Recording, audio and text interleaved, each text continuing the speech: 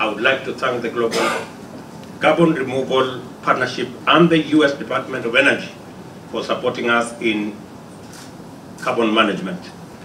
My task today here is to express and signal our commitment to lead the world in this new dispensation and to reiterate that Kenya is open for partnership and business.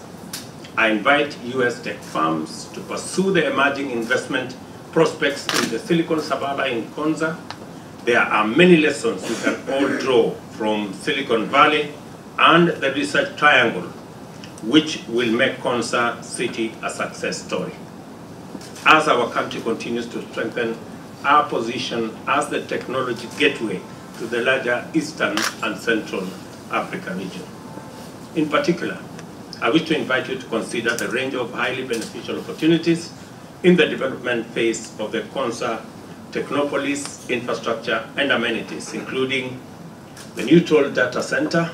We'd like to partner with some of your uh, enterprises, research and development and innovation facilities, regional office to support Africa operations, health facilities, housing, learning institutions, logistics park, uh, smart stadium, uh, and other sports uh, facilities.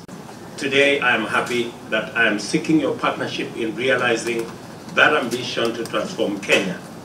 The world is experiencing unprecedented disruptions across many sectors.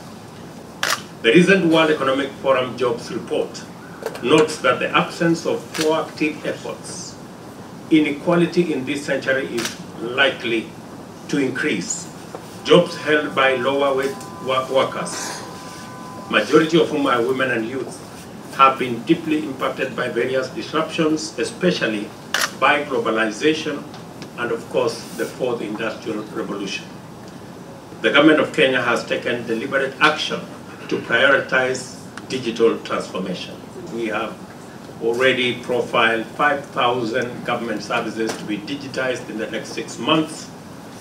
We have also a robust program on how to make digitization, to make internet uh, access not the preserve of the few, and Kenya is going to extend, we're going to extend our uh, fiber optic footprint another 100,000 kilometers around Kenya so that we can bring many people to the reality of using uh, the internet and getting into the digital space.